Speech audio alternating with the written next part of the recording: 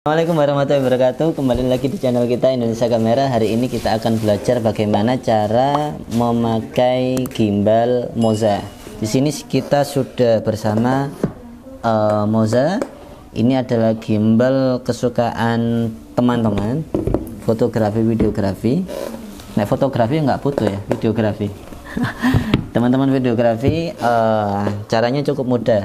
Oke, tanpa lama-lama langsung saja kita belajar Terima kasih sudah klik video ini. Tapi jangan lupa guys, klik tombol subscribe karena subscribe itu gratis. Dengan subscribe kamu support channel ini terus untuk upload hampir setiap hari. Ingat, subscribe itu gratis, gratis. Gak ada ruginya kamu klik tombol subscribe guys. Selamat menonton. Teman-teman, uh, langsung saja kita buka. Oke, uh, kita buka ya. Jadi penutupnya ada dua ini. Uh, cara bukanya cukup mudah, tinggal ditarik gini. Ya, nah, tinggal dibuka. Nah, ini isinya seperti ini di sini ada kakinya. Ini kaki untuk berdirinya untuk setting gimbalnya. Kemudian ada lagi maaf ya saya gini kan. Ada lagi di sini ada tempat baterai. Ini tempat baterai oke. Kemudian ada lagi baterai. Ada tiga Oke, cukup mahal baterai ini, jadi hati-hati hilang. Kemudian di sini ada pegangan. Jika teman-teman pengen pakai dua tangan, maka ada pegangannya seperti ini. Oke, nah, nanti uh, langsung kita praktekkan ya. Gimana cara masangnya, gimana cara uh, ngaturnya, nanti kita praktekkan semua. Kemudian ini tangannya ada dua juga tangannya ini tadi ada dua kemudian dipasang di ini tadi di sini kemudian dipakai tangan itu tadi. Ini kakinya kemudian ini adalah tempat remote-nya ada remote-nya juga kemudian uh, di dalamnya juga ada charger ada rumah tripodnya dan ada kabel-kabel. Uh, kemudian ada yang utama adalah motor gimbalnya nah seperti ini. Oke. Jadi ini biasanya dipakai oleh para videografer yang menggunakan kamera yang lebih dari uh, eh, 2 kilo. Lebih dari 2 kilo mereka memakai gimbal ini. Kalau yang eh, kamera-kamera uh, di bawah 2 kilo biasanya pakai kamera pakai gimbal yang lebih kecil. Contohnya kayak Zion yang kemarin bisa klik link di bawah ini untuk lihat video yang Zion uh, langsung saja teman-teman uh, kita belajar cara masangnya ya. Oke okay, untuk baterainya seperti ini teman-teman. Ada yang di sini adalah plus plus tandanya itu seperti ini. Uh, ada lubang-lubangnya ya teman-teman ya. Nah seperti ini. Ada lubang-lubang seperti ini. Kalau min itu datar. Oke ini ada tiga. Langsung saja kita masukkan ke dalam sini dalam sini kita masukkan jumlahnya tiga. Posisinya sama semua. Yang plus ada di atas. Jangan kebalik ya kalau kebalik nggak nyala. Jika teman-teman uh, nyala bisa dicek baterainya. Mungkin itu uh, kebalik. Oke langsung saja kita pasang ke gimbalnya. Nah sudah ada gimbal. Langsung aja kita pasang. Ini plus ada tandanya plus kan? Nah, kita pasang aja Oke seperti ini. Kemudian kita pasang kakinya yang tadi. Ini ada kakinya kan? Kita pasang ke sini. Oke ini kita sudah dapat. Nah, sudah berdiri. Kelihatan semua? Oke kelihatan seperti ini.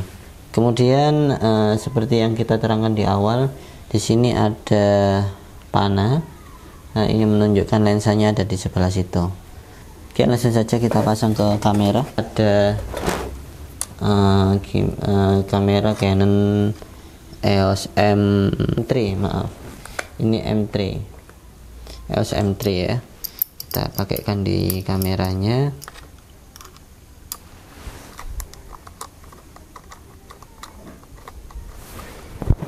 Kita pakaikan nah bautnya seperti ini jika teman-teman susah bisa menggunakan kunci atau uang koin ya untuk mempererat ininya.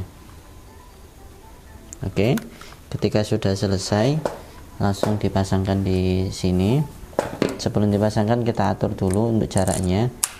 Nah, kenapa kok dijauhkan? Karena ini berjarak. Ya nah, uh, untuk penataannya teman-teman lihat ini. Ini ada tulisan Moza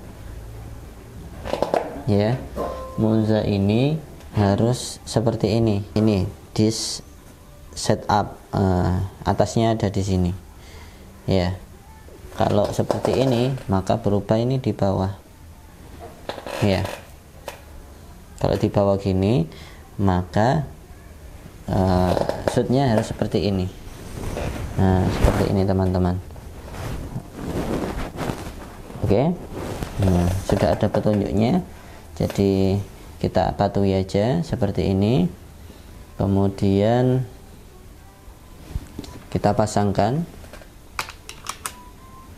Seperti ini ya. Kita pasangkan kita ini ini kita buka. Oke kita rapatkan. Kita lihat seimbang atau tidak. Oh sudah seimbang ya kita atur lagi agar lebih seimbang ini masih miring kanan. Berarti kita harus memberatkan yang kiri. Caranya gimana untuk memberatkan yang kiri? Ada ada beberapa cara. Yang pertama bisa di sini. Yang pertama bisa di sini. Di sini ditambahi ke kiri. Seperti itu. Nah, jika dirasa sudah tapi kok tetap miring, bisa teman-teman turunkan yang ini. Nah, maka oh, belum belum. Ada lagi yang di sini teman-teman. Jadi ini teman-teman bisa dikendori dulu, digeser, bisa. Nah, ini bisa digeser ya. Geser oke nah ini berat kanan kita geser ke kiri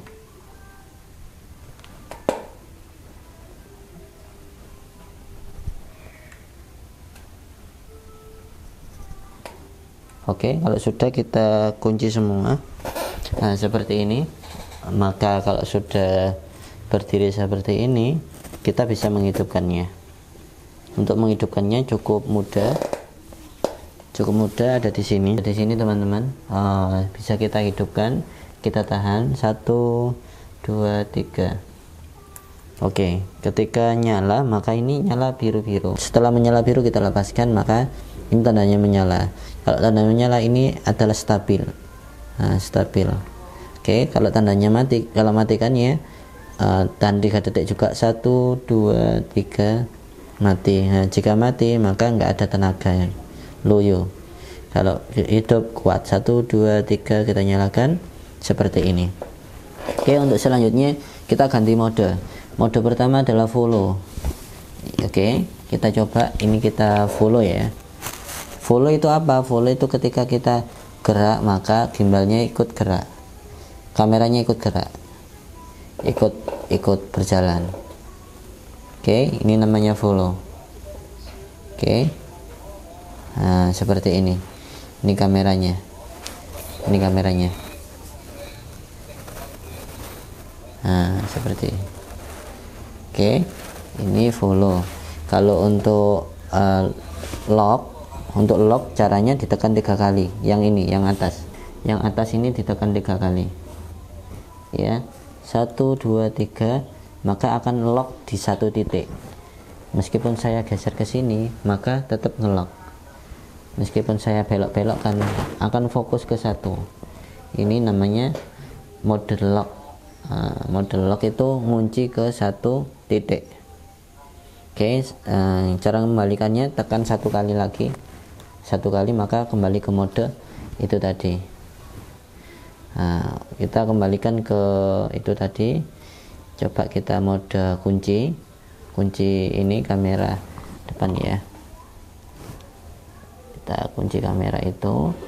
Tekan 1 2 3 kunci. Meskipun ini kita belok-belokkan akan tetap di situ.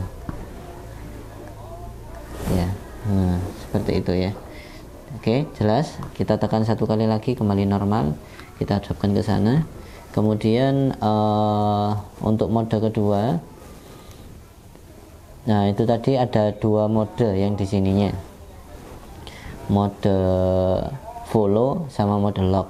Kemudian kita kanan kirinya uh, untuk mengubah kanan kirinya caranya ada di tombol yang bawah.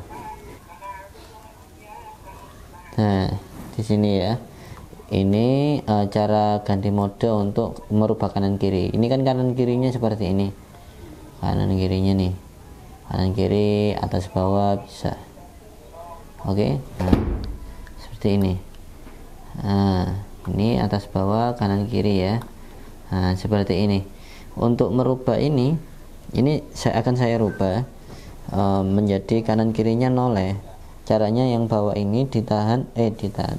Iya ditekan uh, sebanyak empat kali. Satu dua tiga empat. Maka kanan kirinya berubah menjadi seperti ini.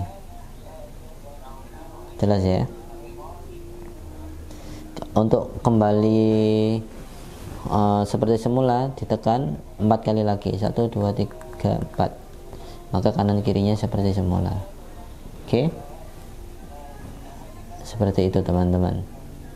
Jelas ya? Untuk misal kalian bingung nih kameranya kok ada situ terus? Kok ada situ terus? Uh, caranya gimana untuk membalikan hadap depan? Caranya ada di reset di sini. Caranya cukup tekan tiga kali. Satu dua tiga. Otomatis hadap depan. Oke? Okay? jelas ya? Oke okay, cukup di sini. Ini cara ganti-ganti modenya. Biasanya gunakan untuk itu tapi ada remote-nya juga teman-teman. Jadi eh, teman-teman uh, tinggal pakai di remote-nya aja sebenarnya. Mantap. Nah, terus ini ada tambahan seperti ini. Ada tambahan seperti ini yaitu untuk para videografer mempermudah jika mau shoot-shoot uh, yang lari atau atau hal-hal yang perlu lebih ekstrim. Untuk cara pasangnya tadi ini. Nah, nah seperti ini kita masukkan.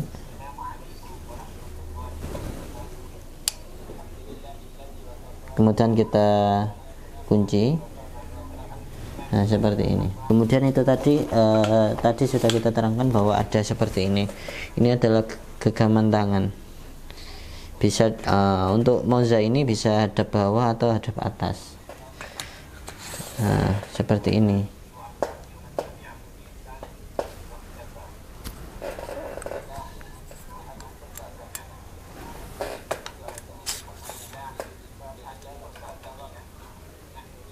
Oke, seperti ini teman-teman. Ya. Jadi makanya seperti ini. Nah, untuk di sini bisa dipasang remote jadi kalau pakai ini eh, teman-teman harusnya pakai remote. Remote-nya ditempelkan di sebelah sini. Di sebelah sini kemudian pakai remote. Nah, seperti itu. Jadi mengarahkannya untuk mode-modenya itu pakai remote semua. Oke seperti itu teman-teman. Oke seperti itu aja. Oke itu tadi teman-teman kita sudah belajar tentang gimbal Moza jika ada pertanyaan silahkan tulis di kolom komentar. Jangan lupa subscribe, komen, dan like. Salam sahabat fotografi videografi Indonesia, salam saudara.